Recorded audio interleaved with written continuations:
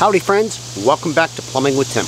Join me today as I demonstrate to you how to hook up wire a 240 volt 30 amp quick disconnect for an electric water heater. So I'm currently in the middle of building a new cabin out here in western Kentucky.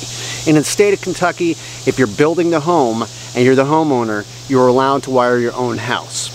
Now I can already hear the comments, Tim, what the heck does this got to do with plumbing? Everything. Come on, let's go inside and get started. Alright, so we're up in the cabin here in western Kentucky. We've got a lot of stuff done, but we've got so much more to do.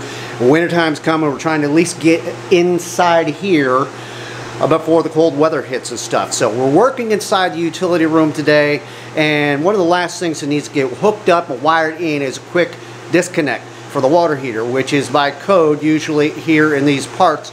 Let's head over to that room and I'll show you what we're doing.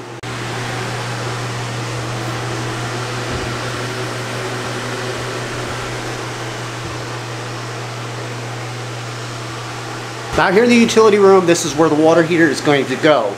Okay, let me show you what we had to do to get to this point with the disconnect box, which is simply mounted here to the unfinished wall and stuff. Let's head over to the breaker panel. As you can see at this point, we do not have any of the panel hooked up. I'm gonna get a licensed electrician to come out and do that, as well as hook up my meter base outside. All right, here on the back side electrical panel inside the house, got a whole gaggle of wires of all the stuff that I've ran through the cabin and stuff.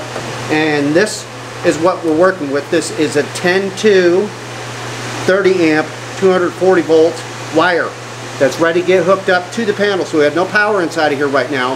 Everything you see, the fan, the lights, whatever, all ran from my meter over on my other property in from an outlet and extension cords. But this is the tail end that's going into the meter box. That's going to be taken care of by the electrician. Let's head back over to where the water heater is and I'll show you the other end. All right, look closely. Here's my line coming down. It's all been ran overhead from the electrical panel over to our disconnect that we're hooking up today. This is just a straight line. There's nothing else that's running through it and everything. 10-2 gauge means it's 10 gauge wire with two wires plus ground. Let's go ahead and hook this up. All right, let's go ahead and open up this disconnect box. All right, just kind of set it into place. As you can see up here, this is the fuse or it's the disconnect. They don't sit in there very tight. You simply pull them out and that disconnects power. If there is power going to this, which there isn't right now, and if that's the case, you can take and flip this thing over and slide it back in, which means that'd be in the off position. All right, first thing we're gonna do now that this is open, I'm gonna take a little flathead screwdriver. and We're gonna just pop this bottom panel off. See all the connection points here. I'll explain to you exactly what they are and how to connect this all up. Now, if you look closely, I've already popped out one of the holes in here and put a Romex connector coming from the back side which will be inside the wall and one down here at the bottom which the line coming out going to the water heater will be coming out through there on these Romex connectors. All right, pay attention now. Here I have my 30 amp 240 volt line that's coming from our panel.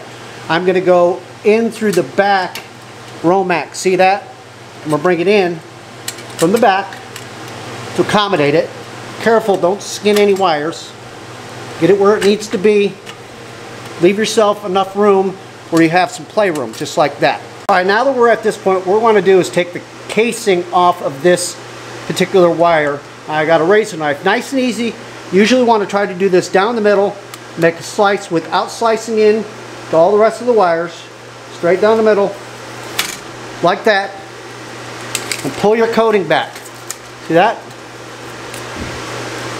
I'm going to take the razor knife and cutting away from the wires to get that excess off there. At this point you'll see some paper and stuff that's around there. Go ahead and just take and pull that paper off and separate your lines. So you got three different lines in here. This is a 10-2 wire which means it has two wires. It's 10 gauge and the third one is ground. What I'm going to do is we're going to take and we're going to strip off about a half inch from the black and the white. I have a pair of quick strip pliers here, or you can use the uh, standard ones, the Kleins, whatever you want to do. We're going to go ahead and we're going to take our black wire first, stick it in here. We're going to skin about half inch off there. See that? We're going to do the same with the white. Just like that. I've got two wires that are ready to go, as well as a ground. All right, with a regular flathead screwdriver, the first thing I'm gonna do is I'm gonna take and loosen this bottom connector up. These are for the ground, this is a ground block. I'm gonna loosen it up, and we're gonna go ahead and we're gonna get our ground wire set in there first. Pay attention. Here's our ground, our bare wire, see that? I'm gonna take and I'm gonna loop it down in here far enough where it's out of the way, and we're gonna bring it in through the side. Uh, hopefully you can see this. Kind of like that. See that? I've got it inside of that connection. Take a flathead screwdriver and tighten that thing up.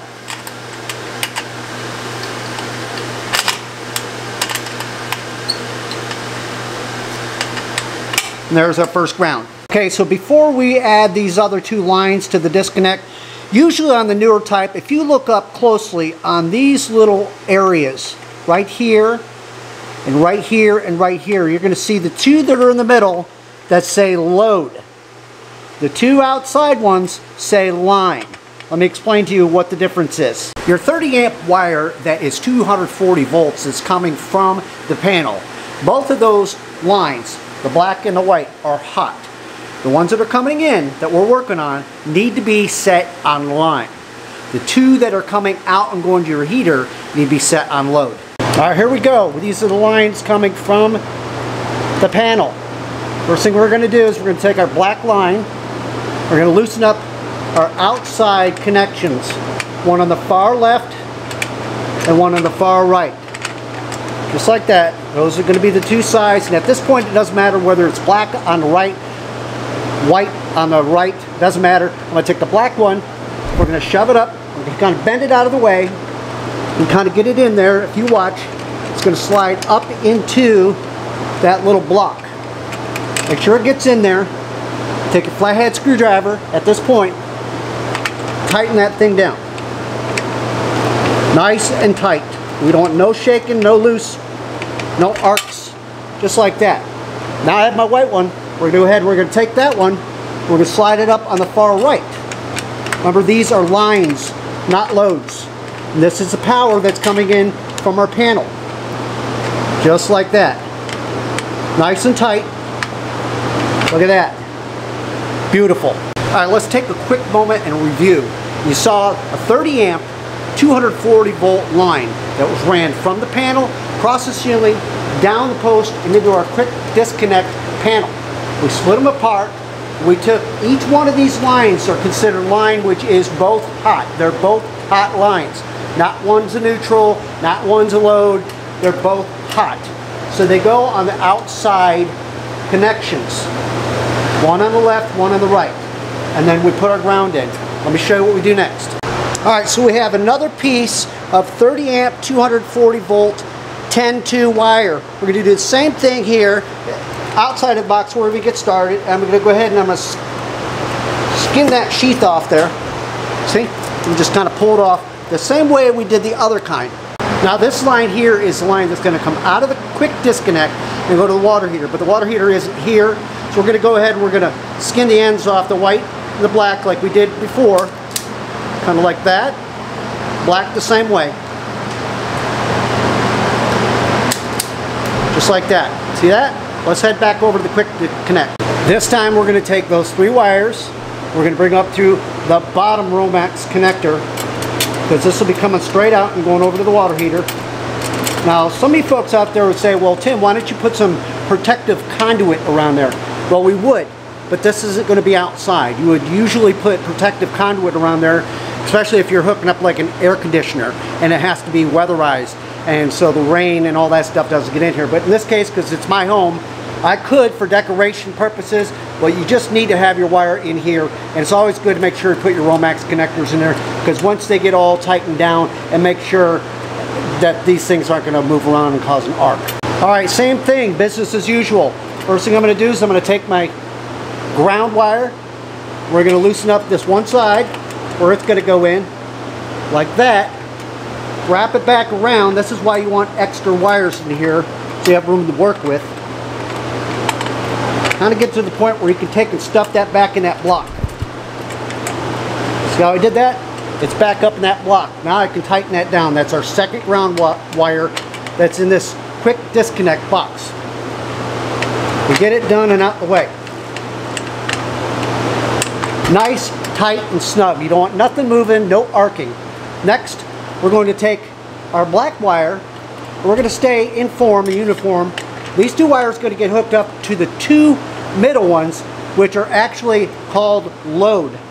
There goes the black line, going up to one in the middle. Now it could be on the left or the right, doesn't make any difference at all. There we go. Go ahead and we'll lock that in. Hope you can see this.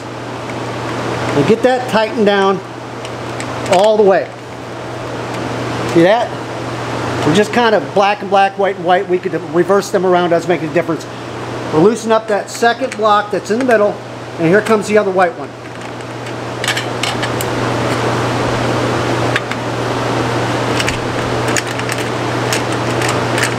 There she goes. Tighten that thing down. Nice and tight.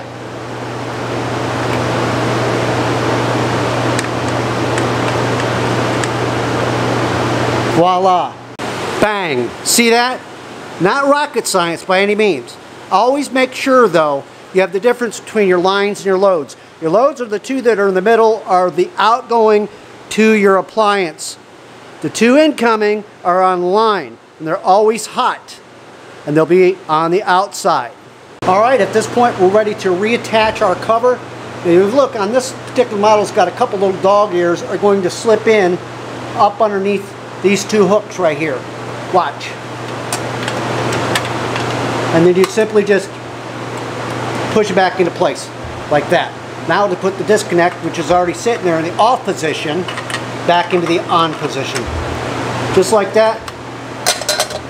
Close her up, ready to go. Our last thing we have to do is just take this whip that we attached to the quick disconnect, which will be going to our water heater as soon as it gets here, and just kind of roll it up and get it out of the way. Something like that. That's going to do it for this one. Thanks so much for hanging out and watching the video of how to wire and install a 30 amp 240 volt quick disconnect for electric water heater. If you don't know what you're doing, stop what you're doing and call yourself a licensed electrician. If you got any comments, questions, leave them down below. And don't forget to keep plumbing.